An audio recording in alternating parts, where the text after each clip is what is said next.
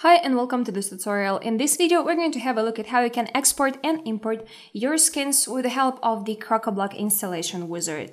Crocoblock installation wizard can also help you install the Crocoblock package with all the skins, all the theme parts, and everything that comes within the Crocoblock, so all of the products.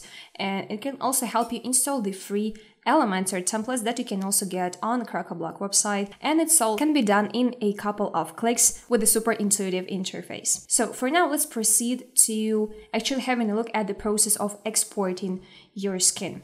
To export your skin, you have to click here and you're going to be redirected to this window. You can choose if you want to only export the content of the theme without the plugins. If you want to also export the plugins, leave this toggle untouched. So here you give this skin a name. And the demo URL and the thumbnail URL are the optional fields to fill in. Here in the demo URL and the thumbnail URL fields, you have to insert the links to the demo and the thumbnail of the skin correspondingly. So here you insert the link following which you can preview the live demo of the skin that you are exporting. So when you are importing this to another website, you can preview how this skin looks like. And the same with the thumbnail. These two fields are optional and you may not fill them in. Next, let's proceed to the content settings. Here you can export the options that are stored in the WP underscore options table in your database. To see those options, go to WP Options and copy the names of the options that you want to be exported alongside your skin. If you need to export multiple values, separate them with a comma. If you have any custom tables in your database, also insert them here, separating them with a comma and without inserting the WP underscore prefix.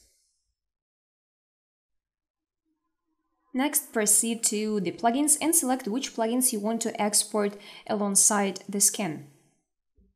Here are going to be all of the plugins that are currently installed on your website.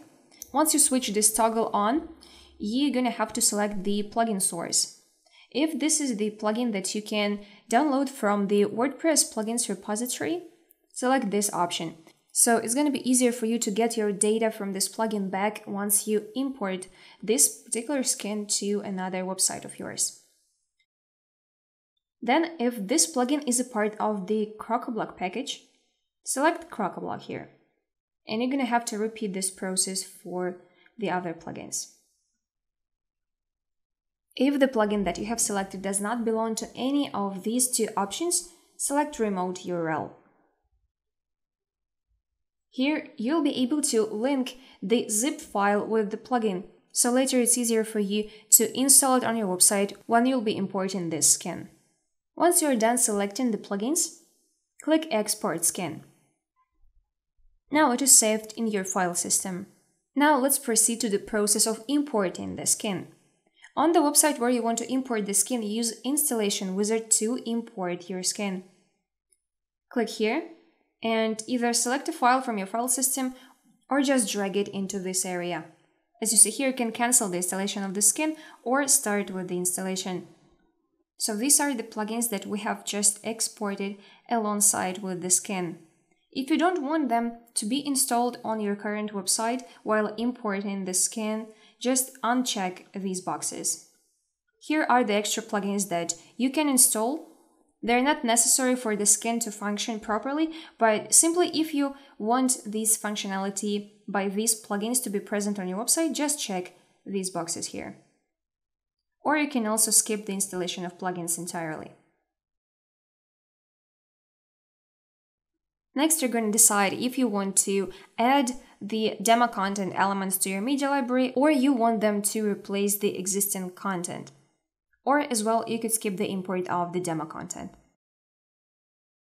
And once you're done with those steps, you are pretty much set. You have imported the skin with the help of the Crocoblock installation wizard. If you want to learn more about Crocoblock installation wizard and how to install the Crocoblock package and import free Elementor templates with its help, check out our other tutorials.